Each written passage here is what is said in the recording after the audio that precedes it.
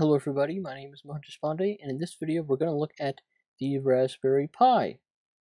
So uh, here it is, it looks like this, and it's basically a, a, microcomputer, and you know it's a full computer. It turns out you know you can write documents on it, uh, manage spreadsheets, you can play games, stream videos, and you can do pretty much anything else that you could do with a regular computer, uh, but in a much much smaller form factor. So here's you know some of the measurements that that I'm kind of showing here.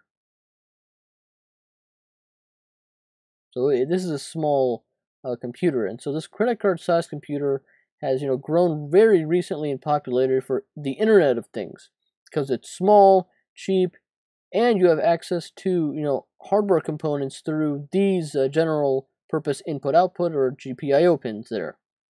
Actually, in uh, addition to those pins, we get uh, four USB ports.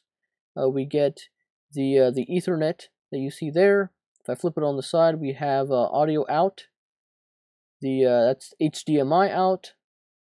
That's the actual power supply system micro USB.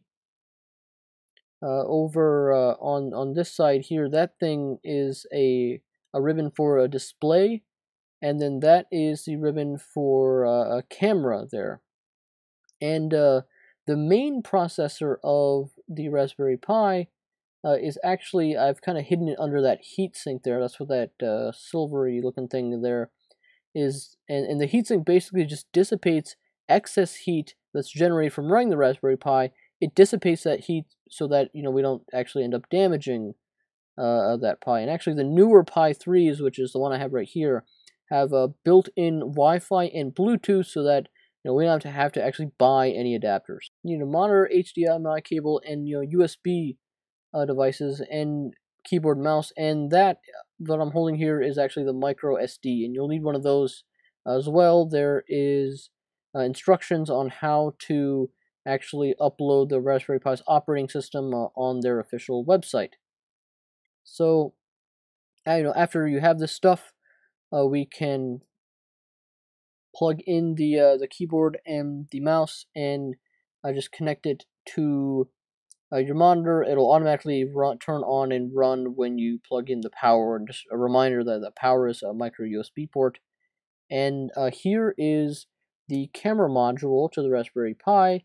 And instead of USB, it actually uses a ribbon to uh, transfer the captured image uh, to the Pi. And so to get this actually working, you can uh, open up that uh, port here, this camera port here, you can just kind of open it up here and uh, put the uh, ribbon in and make sure that, see those pins on the left there? You have to make sure that the rib, the shiny part of the ribbon actually lines up, it's pointing to the left so that it actually makes connections with that. And when we close the camera port, we can uh, actually lock it in, lock it in place. So uh, that's really all there is hardware-wise uh, regarding the Raspberry Pi and the camera module. There's some stuff that we have to do uh, software side though, so uh, why don't we uh, get to that uh, in just a second. So when we're dealing with the software side, you'll want to, you know, when you're when you can put it up on on the monitor and the display, find a, a, a terminal window and type in sudo sudo space r a s p i c o n f i g.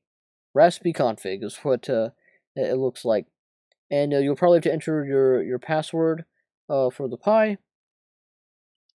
And if you notice, if you if you look uh, at this image here, there there the one of the entries there is enable camera, so you can use the arrow keys to kind of select that and then hit enter and that'll enable uh, the camera. And then you can, you have to reboot the Raspberry Pi actually. So you're going to have to uh, reboot it uh, with the power settings and then you know, it'll come back online. And at that point, that's where, you know, everything should be, uh, everything should be golden. And so now that you have that set up, uh, we can actually move on to uh, build, start uh, you know, working on the security camera, you know, any of the stuff that we, you don't really, you don't need a Raspberry Pi for uh, this this project. I just want to make that clear, you know, so you don't have to like go out and buy one immediately. Uh, and all the stuff that we will be working on will actually function just fine on you know like a webcam or something. But uh, I just wanted to you know introduce you guys to uh, to the Raspberry Pi. So now that this is all set up, we can get started uh, with our app.